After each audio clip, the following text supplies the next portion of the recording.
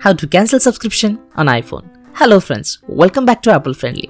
Today in this short tutorial, I'm gonna show you how to cancel subscription on iPhone or particularly how to cancel Apple Music subscription. I believe this video will help and in case if you have any questions, do let me know down in the comment section below.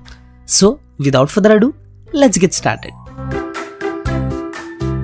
In most of the cases, auto renewal of iPhone subscription makes it difficult to change payment method like credit or debit card information. So, it is very important to stop auto renewal of this subscription on your Apple ID. So, let's see how to do that quickly. Launch settings. Select iTunes and App Store. Tap on your Apple ID. Select View Apple ID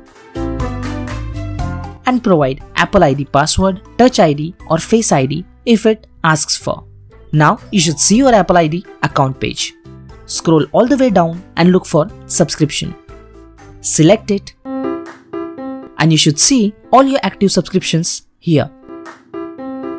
As in my case, I'm subscribed to Apple Music and in case if I want to change my payment method like my debit or credit card information, I won't be able to do that because of this active subscription. So first, I need to cancel Apple Music subscription, pay all my credit card dues, and then only I'll be able to change my payment method. There are many other apps that provide similar subscription services, and you should find all of them listed here if the subscription service is active in your case.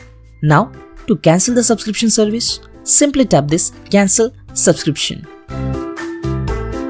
and select Confirm. And that's all your subscription services will be closed. Now go and immediately check your subscription status and make sure that there are no unwanted active subscriptions on your Apple ID.